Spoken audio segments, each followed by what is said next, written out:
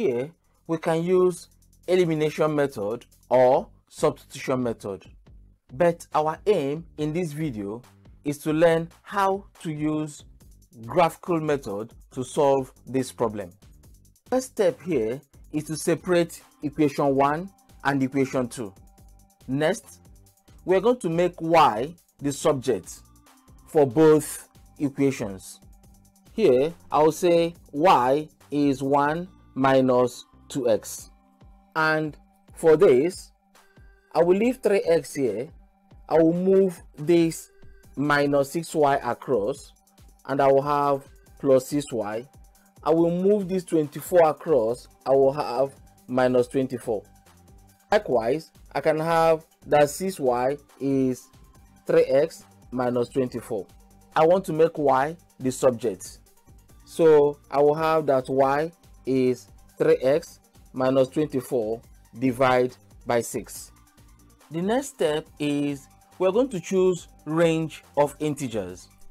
Let me choose between minus 2 and 2. Also, I will choose between minus 2 and 2. You can choose between minus 5 and 5, minus 3 and 3, or even from 0. However, at the end of the day, we're going to extrapolate the line to cover other range of integers. Next, we're going to draw a table for both equations and we're going to consider the range of values we are considering. Here, between minus 2 and 2. Likewise, I will do the same for the other table. Next, I will consider the first equation.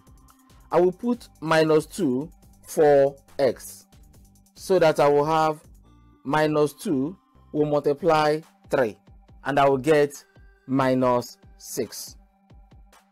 Minus 6 minus 24. I will have minus 30. Minus 30 divided by 6, I will have minus 5. Next, for x equals minus 1, here I will have minus 4.5. Next, for x equals 0, I will have minus 4. Next, for x equals 1, I'm going to have minus 3.5. Next, for x equals 2, my y is minus 3. I'm done with table 1. Next, I will consider table 2. For table 2, if I put minus 2 for x, that is 1 minus 2 in bracket, I'm putting this minus 2. Hence, I'll have 1 minus times minus is plus 4 and I'll end up having 5. That's how we got this 5.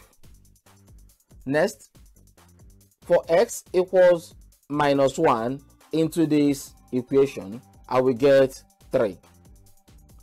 Next, for x equals 0 here, 2 times 0 is 0 and I'm left with 1.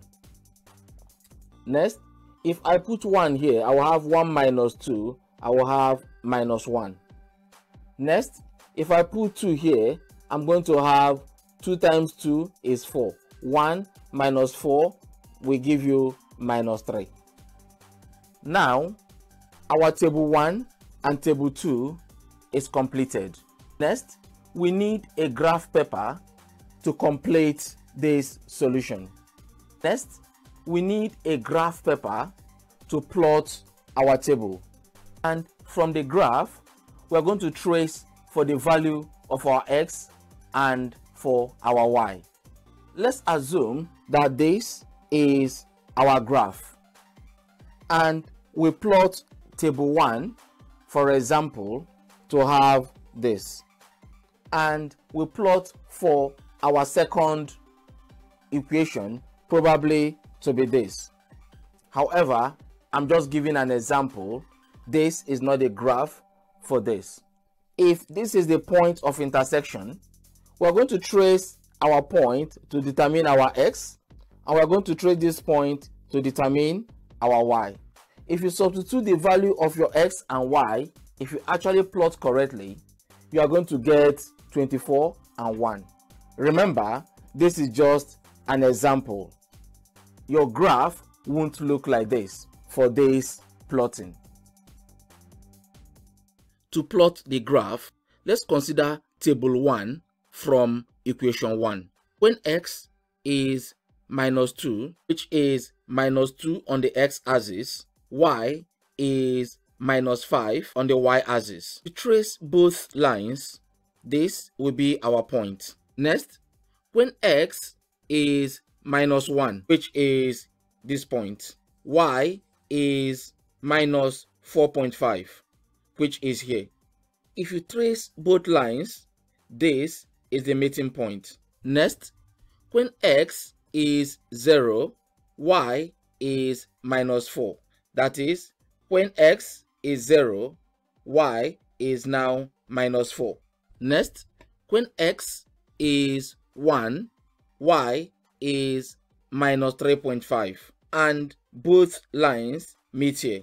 Next, when x is 2, y is minus 3 and both meet here. Next, with a ruler, draw a straight line to join all the points. This is the straight line graph for table 1 from equation 1. Next, let's consider table 2 for equation 2. Still on the same graph, when x is minus 2, y is 5. Both meet at this point. Next, when x is minus 1, y is 3. Both will meet at this point. Next, when x is 0, y is 1. And this will be the point. Next, when x is 1, y is minus 1.